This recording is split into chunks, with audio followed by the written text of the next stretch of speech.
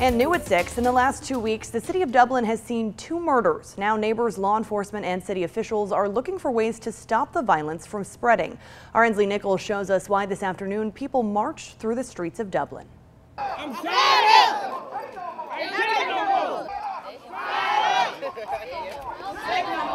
Ministers, law enforcement, community members, and families walking for a purpose to shed light on violence in Dublin. The gang members are our sons, our daughters, our nephews and uncles. call the crime, it down. As I stand before you and speak, my nephew is in jail right now for one of the homicides that, that took place in Laurens County.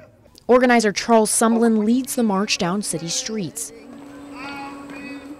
hoping people living nearby hear their chants.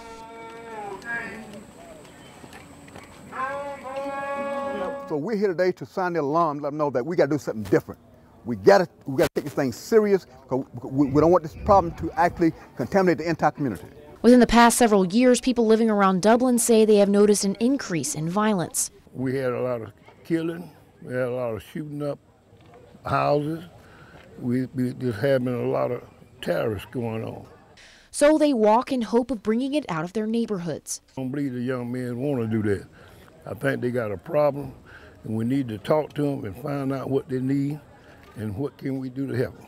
Others have seen an influx in murder cases roll through courtrooms. As a judge and as, as a member of the legal system, I do a lot of criminal justice work, and we're seeing that young people are getting involved in gangs at earlier ages.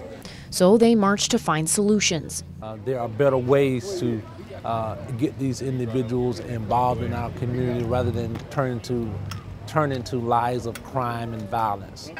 Let nobody. Right now, we need this change. Uh, we can't ignore the fact that these kids are dying daily. Showing the faces of lives lost to leave a lasting impression that hopefully makes a difference. Person may have been carrying your son, but then you out here, you understand, to make sure you don't carry nobody else's son. In Dublin, Ensley Nichols.